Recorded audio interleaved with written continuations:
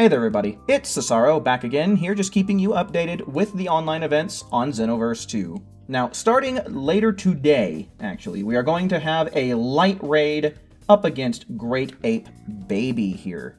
Now, the date is going to be May 2nd, and that start time for those of us here in the United States is going to be 8 p.m. Pacific, 9 p.m. Mountain, 10 p.m. Central, and 11 p.m. Eastern. Then going to be ending on Wednesday, May 8th, and that end time is going to be 10 p.m. Pacific, 11 p.m. Mountain, 12 a.m. Central, and 1 a.m. Eastern there for you. Now, in terms of the rewards, this one has quite a lot. There is a lot of stuff in this one. At 5,000 damage, you're going to get 50 TP medals, the nickname More, as well as the Golden Great Ape hat and tail accessory.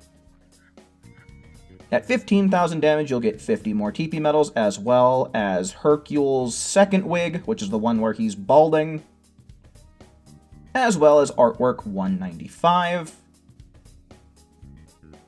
and also a Super Soul, which I believe translates to Come to Me, Electric Slime.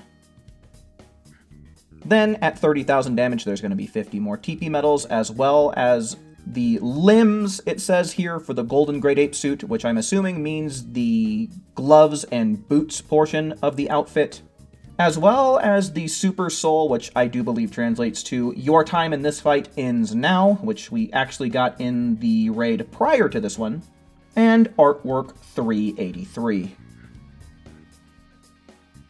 At 50,000 damage, there is yet another set of 50 TP medals, as well as the top and bottom portions of the Golden Great Ape suit, as well as a Super Soul, which translates to Let's see you handle this kind of power, which is actually a Super Soul that pairs specifically with the Namekian's giant form.